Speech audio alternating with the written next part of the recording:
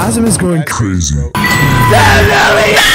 If you didn't know, Hazem, the creator, please donate, has donated over 400 million Robux in total. And a big portion of that has been in the past month after giving IShowSpeed and Project Supreme both 30 million Robux. Not only that, Hazem is projected to have given over 5 million Robux worth of codes. This easily giving Hazem the title as the most generous developer. Like if you think Hazem should buy Roblox.